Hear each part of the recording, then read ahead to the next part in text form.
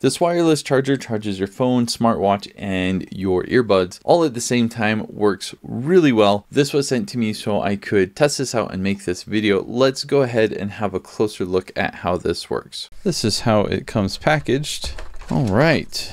So it does come with a USB-C to USB-C charging cable, but it also has this adapter if you want to plug it into USB-A and everything folds down flat. Got USB-C port here, so we'll go ahead and plug that in. Ooh, fancy, nice LED light there. I've got my Pixel 6. It does have a case, but it is charging through the case.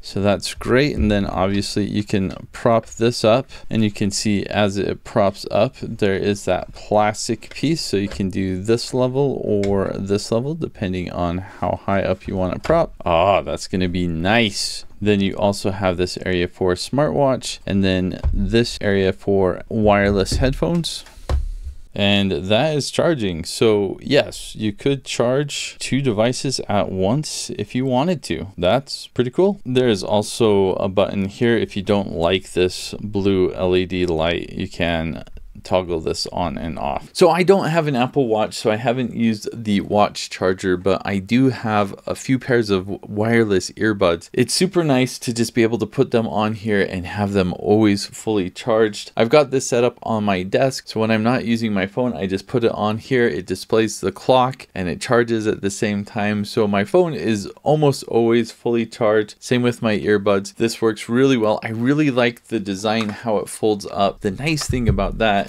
is you can take this traveling and you can put this in a backpack and because it's so thin like this it's really like it's not taking up any room at all. It's also very lightweight. So this travels very well. If you're going somewhere where you're going to be gone for more than a few days I actually do recommend taking this. It's really nice on a trip to be able to just mount your phone use it as an alarm clock or something like that. Really cool wireless charger